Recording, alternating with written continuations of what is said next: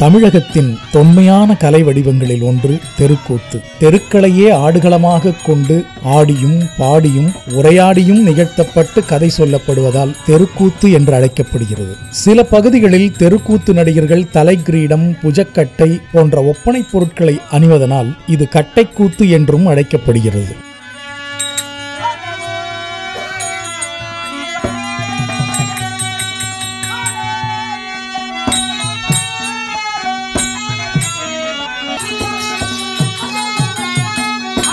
தெருக்கூத்தின் மிக முக்கிய கதாபாத்திரமான கட்டியக்காரன் கூத்தில் வகிக்கிற இடம் இயங்கும் விதம் கூத்தை கொண்டு செல்வதில் அவனுடைய முக்கியமான பங்கு. இப்படி மக்களுக்கு தேவையான நகைச்சுவையையும் வழங்கி கூத்து முழுவதும் நின்று இயக்குனராகவும் பணிபுரிகிறான். முதல்ல என்ன நாடகம்? என்ன ஊர் கா நாடக குழு? யார் ஆசிரியர்? என்ன நாடகம் நடத்த போகிறோம் அப்படின்னு பறைசாற்றுபவன் யாருன்னா அவன் தான் கட்டியக்காரன்.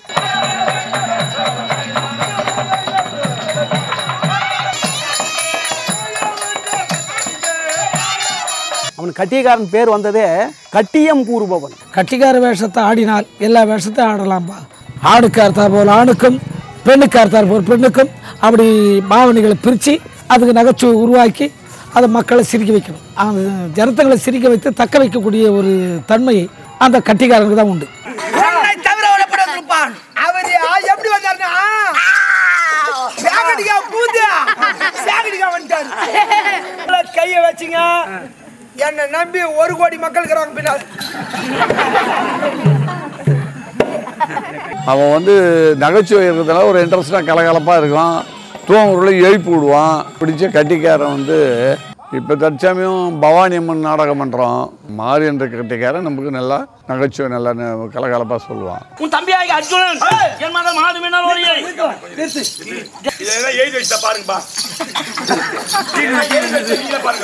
கூத்து என்றால் ரொம்ப எனக்கு பிரியம் எனக்கு. ராமலிங்கம் சீதாராமனர் அப்புறம் பார்த்திபன் விபிஸ் நாயக்கர் நாராயண நாயக்கர் எல்லாம் போய் ஆடும்போது பக்கத்தில் வந்து ஒரு பத்து பாஞ்சு கிலோமீட்டர் பாரத ஆடும்போது பத்து பாஞ்சு கிலோமீட்டர் சைக்கிள் எடுத்துன்னு போகணும் சார். நம்மடியா நடிக்கணும். தெருக்கூத்தில் ஒரு ஃபேமஸாக வரணும் அப்படின்னு ஒரு எண்ணம் வந்ததுனால நான் இருபது வயசுலேருந்து தெருக்கூத்து போயிருக்கேன். கீழ்வேன் பக்கம் கோபால் நாயர் கம்பெனியில் தெருக்கூத்தில் இருந்தேன். அப்போ வந்து அர்ஜுன் வேஷம் சின்ன சின்ன வேஷம் ஆடியிருந்தேன் அப்புறம் மணிகார் கம்பெனியில் கலைமகள் நாடகம் தெருக்கூத்தில் அங்கே போயிருந்தேன்.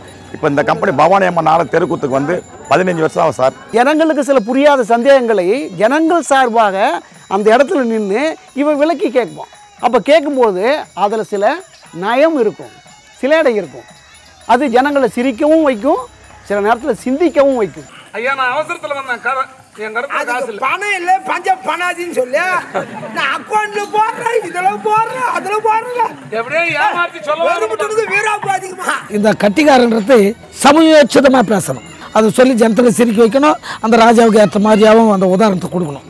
இதில் அனுபவம் இல்லாமல் ஆடவே முடியாது. மக்களை தக்க வைக்கணும் இரவிக்கலாம் இரவெல்லாம் கடலில் விட்டார். தம்பி? ஆமா. ஆமா. கடலில் விட்ட பிறகு?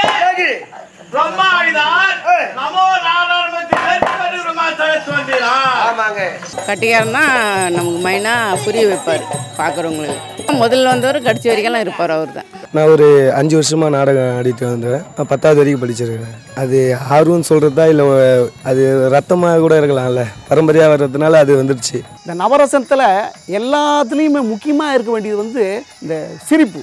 இந்த மனுஷால தவிர வேற எந்த ஜீவராசியும் சிரிக்காது. அந்த சிரிப்பு கொடுக்கக்கூடிய ஆள் யாருன்னா இந்த கட்டியக்காரன் பெயில் என்ன போய் படிக்க சொல்றீங்களா? அஞ்சாவதுல அஞ்சு வருஷம் பயிலுங்க. அஞ்சு வருஷம் பயிலுக்கு ஏன் ஜாமா ஊன் ஜாமா சார்? எனக்கு எப்படி தெரியும்? பத்து பேர் கை தட்டினாங்களா எனக்கு சந்தோஷம். மென்மேலும் ஆர்வம் வந்து தெருக்கூத்து நான் வெளியே வரும்போது வேஷம் கலைச்சிட்டு போயிட்டாக்கா நான் சிரிக்க மாட்டேன். நைட்லாம் எல்லாம் சிரிக்க நீ இப்போ சிரிக்க மாட்டேன்னு என்ன கேட்பாங்க? அந்த கலையில் சிரிக்கிறது. வெளியே வந்து நான் பவுடர் கழிச்சிட்டுனாக்கா நான் அந்த சிரிப்பு எனக்கு வராது எனக்கு. ஜனத்தில் சிரிக்க வைத்த ஆர்வமாக இருக்கேன் சார். நான் ஒரு நல்ல பேருங்க. எங்க அப்பா தூங்கும்போது காது நின்று ஊத்திட்டேன். எங்க அப்பா தானே எனக்கு சொல்ல போறாங்க? நம்மளால முடிஞ்சது பத்து பேர் சிரிக்க வைப்போம். நான் கோமாளியாக இருந்தாலும் பரவாயில்ல என்னை பார்த்து நாலு பேர் சிரிச்சா எனக்கு பெருமை தானே? அந்த ஸ்பாட்டில் பண்ணுற விஷயம். அவர் என்ன சொல்லுவார்? அதுக்கு நம்ம கேட்டு என்ன எதிர்க்கு பண்ணலாம்? அப்படின்னு அப்போதைக்கு செய்கிறது எழுதிலாம் பாடம் பண்ணி இதை நகைச்சுவை சிரிக்க வைக்கிறது முடியாது. அப்பெல்லாம் கூட அக்கௌண்ட் இருந்தானே அந்த காலத்துல? ஆமா எப்பவுமே இருந்ததுதான் இது. பேங்க் அக்கௌண்ட் அப்ப இருந்தானே? ஆமா. அந்த காலத்துல எங்க ஊர்ல மணிகர்ல போட்டியில் தான் வச்சிருப்பாங்க அந்த இரும்பு போட்டியில? இப்ப நீ தான் திடீர்னு வந்து அக்கௌண்ட்ல போடுறேன்றா? அக்கௌண்ட்ல இப்போ வந்ததுங்க அது இப்பதான் வந்தது. இருந்தாலும். எந்த நம்மளா நம்மளது மூணு அக்கௌண்ட்டுக்கு இது. அந்த டைமில் எதிர் வேசக்கார் பேசுகிறாங்களா அதுக்கு ஆப்போசிட்டாக நம்ம பதில் சொல்லலாம் லைக் இப்போ கேள்வி கேட்டால் அதுக்கு பதில் சொல்லலாம் அந்தந்த நேரத்தில் தோன்றது தான் அதெல்லாம். இப்போ எழுதி வச்சு படிக்கிறதுலாம் இல்லை பப்புன் வேஷத்துக்கு.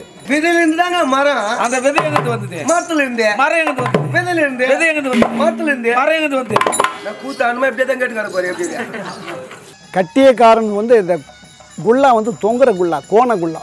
இந்த கோண குல்லாவை காமெடி வேஷத்துக்குன்னு முதல் முதல்ல அறிமுகப்படுத்தினது யாருன்னா தமிழ்நாடு தான். கட்டை கூத்து தான். கோணை குல்லாவும் போட்டு கூலிக்கு நடை நடந்து கோணை குல்லாவும் போட்டு கூலிக்கு நடை நடந்து. இந்த கோண குல்லா இந்த கட்டியக்காரனுக்கு உள்ள ஒரு அடையாளத்தை காட்டக்கூடிய ஒரு தொப்பி. காலில் வந்து கச்சியும் கையில் வந்து கட்டையும் தலையில் வந்து குல்லா கோண குல்லாவும். இது பப்புன் வேஷக்காரனுக்கு அது கட்டியக்காரனுக்கு உண்ட ஒரு அடையாள சின்னம். கட்டிக்கார தூங்கி இருந்தால் பார்த்து வந்து வெளியே வந்து தண்ணி ஊற்றி எழுப்பிடுவார் நல்லா காமெடி ஜோராக பண்ணுவார். கட்டிக்காரர் ரொம்ப ஜோக் சொல்லுவார். அவர் வந்து நாடகத்தில் அவர் எந்த வேஷம் கொடுத்தாலும் ஆடுவார். எங்கள் தாத்தா எல்லா வேஷங்களும் ராஜா வேஷம் தான் ஆனார் எங்கள் அப்பாவும் ராஜா வேஷம் தான் ஆனார் ஆனால் நான் வந்து ராஜா வேஷம் ஆடினேன் கட்டிக்காரனும் செய்கிறேன் நான் ஒரு பன்னெண்டு வயசுலேருந்து துவக்கம் பண்ணிக்கிறேன். நம்ம சொல்கிறது அவங்க என்ன பேசினாலும் நம்ம திசையை நோக்கி பார்க்கணும். அவங்க குடும்பத்தை கதை பேசினே இருப்பாங்க. இன்னமும் முக்கியமான கருத்து சொல்கிறாப்புல கட்டிக்காரன். அதை கவனிப்போம். அந்த அளவுக்கு நான் பேசணும். அப்படி பேசினா தான் அவங்க நம்மளை இந்த திசையை நோக்கி பார்ப்பாண்டு பேசுறது. நம்ம மேல எந்த தப்பு கிடையாது. எனக்கு தெரியும். மத்த பேரு இங்க அடி பாரு. நானா நான் ராஜா வம்சமா உள்ள. டேய் தூக்கத்துல கஞ்சிராது போட போதுரா உங்களுக்கு சத்தியமா சொல்றாங்க தூக்கத்துல கஞ்சிராது போட போதுரா சின்ன வேஷக்காரர் வெளியே போய் நின்னா கூட பக்கத்தில் நின்று கட்டிக்காரன் தான் பதில் சொல்லணும். தெரியாத விளக்கத்தை சொல்கிறவன் கட்டிக்காரன் தான். ஐம்பத்தாறு நாட்டுக்கு ராஜா வந்திருக்கிறவர். அப்படின்னு சொன்னால் இவர் பெரிய அரசன் பழுகுது கட்டிக்காரன் சொல்கிறான் நமக்கு புரியுதுன்னு சொல்லுவாங்க.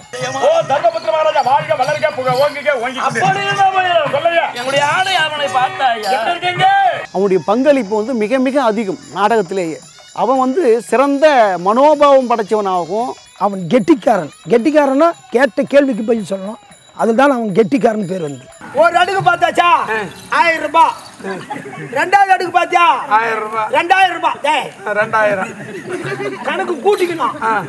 இது ஆயிரம் ஆயிரம் சொல்லக்கூடாது மூணாவது அடுக்கு பாத்தியா? மூணா இந்த குழந்தைங்க. நாலாவது அடுக்கு பார்த்தா ஐயா அஞ்சாவது அடுக்கு பார்த்தா மூணாவது அடுக்கு பார்த்தா. அதான். முதல்ல இருந்தது யாரியா யாரா இருந்தது? முதல்ல இருந்தது முதல்ல. முதலியா யாரியா நீ தானே முதல்ல இருந்தது யாரு ராமா கம்பெனி ஒரு ஊருக்கு நாடகத்துக்கு போனால் அங்கே முதல்ல பார்க்குறவங்க என்ன கேட்குறாங்க தெரியுமா? பெட்டிக்காரன் என்ன ஊர் மிருதங்காரன் என்ன ஊர் கட்டிக்காரன் என்ன ஊர்? இதெல்லாம் முக்கியமாக கேட்குறாங்க ஏன்னு கேட்டிங்கன்னா முக்கியமான தாய் தந்தை பெட்டி மிருதங்கம். இப்போ காலப்போக்கில் பஃபூன் ஆகி போச்சு அது. இந்த கட்டிக்காரன் வேஷத்து வந்து பஃபூன் ஆகிட்டாங்க பஃபூன் வேஷக்காரர் யாருங்க?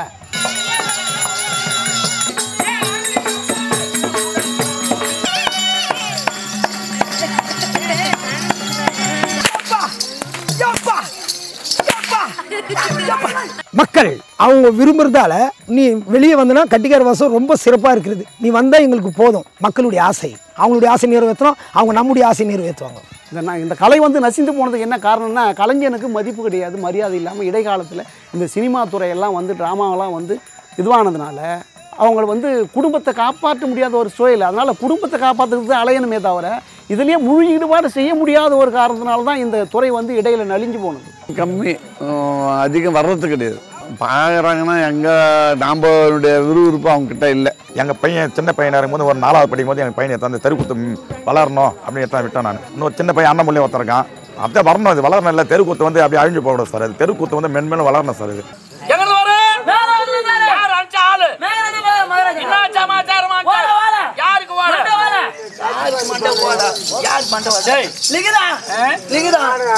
எனக்கு பிறகு அவங்க என்னுடைய பேர் அவங்க சிந்தனை நிறுத்துவாங்க. அஞ்சு பேர் இருக்காங்க. கட்டிக்கார வேசம் ஆடுவாங்க ராஜா வேஷம் ஆடுவாங்க பெண் வேஷம் ஆடுவாங்க கட்டு வேசம் ஆடுவாங்க. இந்த கலைன்றது ஐயாக்கு கட்சி வரைக்கும். என்னுடைய கலை மக்களோடு சேர்ந்து நடிக்கிறது தான் எனக்கு பிடிக்கும். சினிமாவில் நடிக்கிறது எனக்கு பிடிக்கல.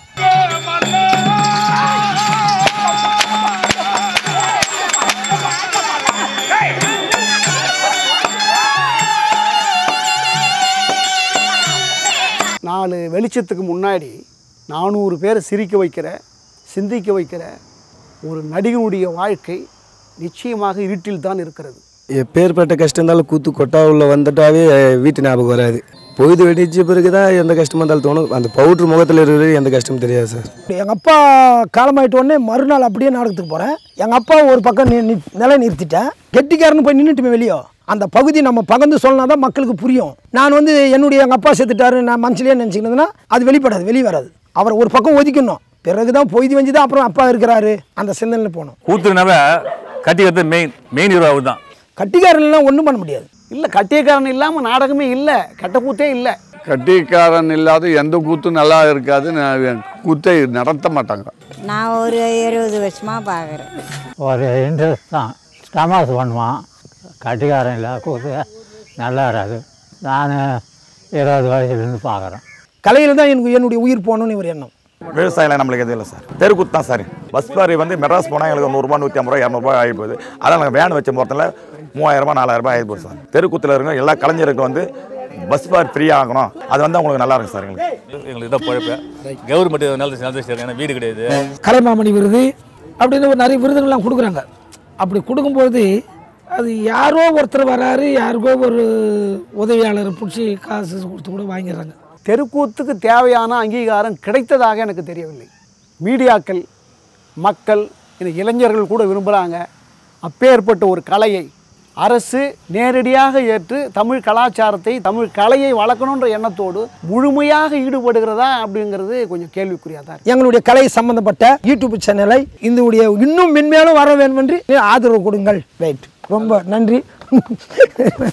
தன்னுடைய அழகிய கூறுகளாலும் பார்வையாளர்கள் மனதில் ஏற்படுத்தும் உணர்வுபூர்வமான பாதிப்பின் மூலமும் உலக நவீன நாடகக்காரர்களை இன்றும் பிரமிப்பில் ஆழ்த்திக்கொண்டுதான் இருக்கிறது நம் தமிழகத்தின் பெருமைமிகு கலை வடிவமான தெருக்கூத்து.